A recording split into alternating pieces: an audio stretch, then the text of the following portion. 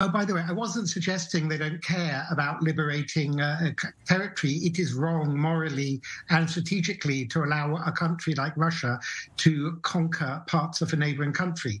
What I'm worried about is the reality, economic reality setting in.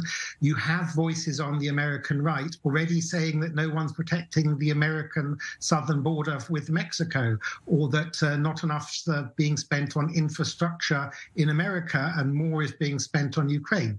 I'm just saying there may be increasing voices like this, and there may not be an open ended support for Ukraine. And Ukraine may strategically be in a rather good position now, having had some battlefield victories, to maybe try and negotiate from a position of strength. Um, maybe, I don't know, Putin, who's had a disastrous war, may also wish to have an opt out at this point.